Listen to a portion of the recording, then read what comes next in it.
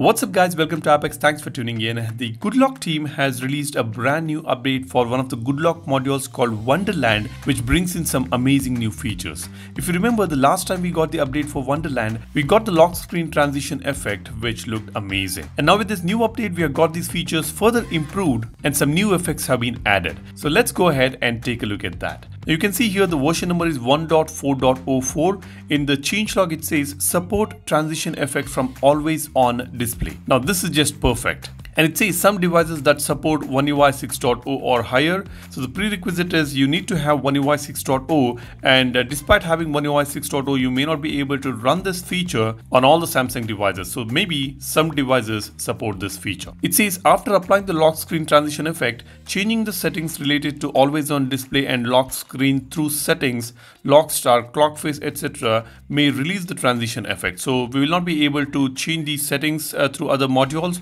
or through the the uh, default settings when you have applied the lock screen transition effect through Wonderland. So be wary of that. The next one says added three new effects, the hexagon, slice and flip. I'm going to show you all these three effects in a bit. Then we have got change color UI for image and effect and adjust default configuration value of effect. Now let's go ahead and take a look at what has changed, what has been added with this all new update.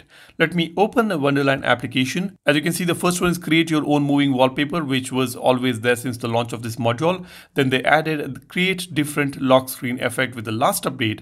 And now they have further improved. Let me open create your different lock screen effect.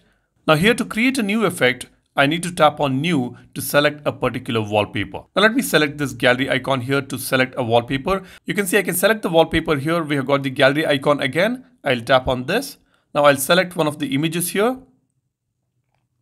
And then I can also select an image for the always on display, which is great. Now let me select an image for always on display here. Now you see I've set the images for both lock screen and always on display. I'll tap on done. Now let's select the FX. Now let me tap on the first icon here. As you can see, the UI has been changed. This is the all new user interface. You can scroll through this FX horizontally now. Now you can see we've got three new effects here, flip, hexagon and slice. Let me just select one of these new effects. I'll select hexagon. This is just crazy. This looks beautiful. I'll tap on done. Now you see this is the effect we have. Now we can check both the screen on and off effect for the AOD as well as the uh, lock screen when the screen is on. Uh, I've got this icon. When I tap on this, it shows how the transition effects appear when the screen lights up from the always on display mode. It shows both the screen on and off effects by tapping on this particular icon. You'll be able to see how it exactly looks. Now once we are done with this, we can adjust the FX settings here. If you want to increase the speed, if you want to change the tile size to small, if you want to change the depth shallow effect, you can do all that right here. This is a very deep customization options we have got now on the Wonderland application. We can also pinch in or out on this image to adjust the image size for your lock screen. Now once done, tap on download and just save this particular effect that you have created. And this is how it looks. Likewise, we can create different effects using all these settings now.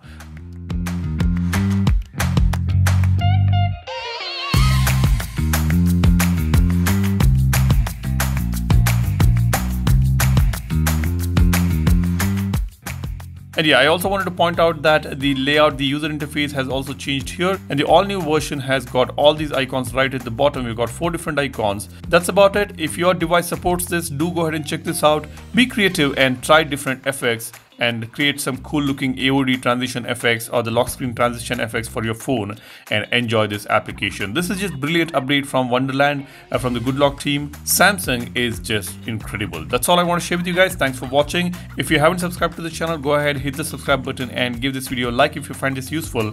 Thanks for watching. My name is Salian signing off. Cheers. Bye-bye.